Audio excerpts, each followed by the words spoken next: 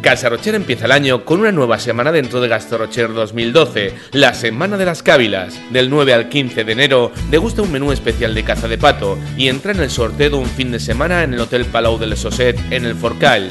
Recuerda, todos los meses organizamos una semana temática con platos de la gastronomía valenciana. Si necesitas más información, entra en www.casarrocher.com o también nos puedes seguir a través de las diferentes redes sociales. Disfruta del buen sabor. Bye.